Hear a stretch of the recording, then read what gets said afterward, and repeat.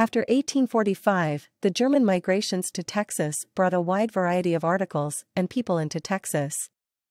Elisabet Ney was one of the several patrons of the arts who accompanied those migrations. It is not known whether she was a free thinker or not, but she certainly was different. As one biographer stated, she sculpted her personal life to be different from what was expected of the proper ladies of her times. Among the 40 pieces of her work now displayed in the Elisabet Ney Museum in Austin, the item she considered her masterpiece is the allegorical statue of Lady Macbeth. This is text from a chapter in W. T. Block's book Texas Through the Eyes of a Historian.